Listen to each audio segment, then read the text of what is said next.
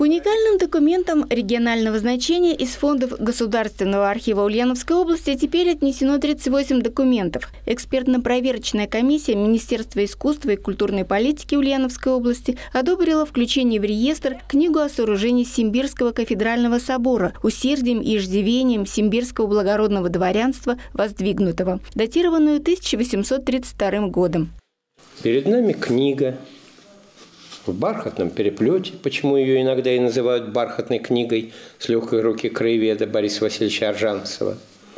Это рукописный фолиант размером 27 на 39, толщиной около 5 сантиметров, с золотым срезом и 112 листов.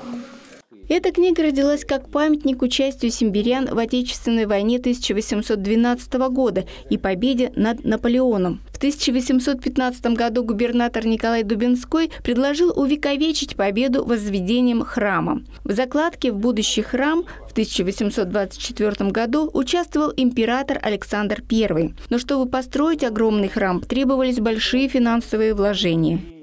Учреждается специальный комитет во главе с предводителем дворянства, князем Михаилом Петровичем Боротаевым.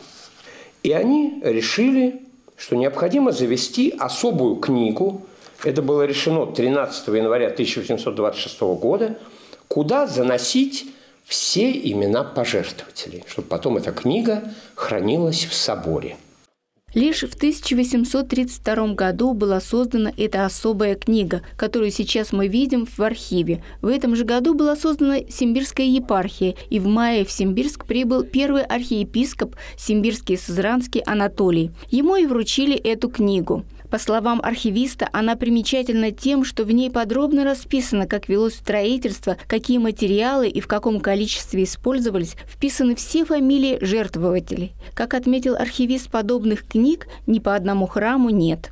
Ирина Антонова, Александр Кудряшов, Улправда ТВ.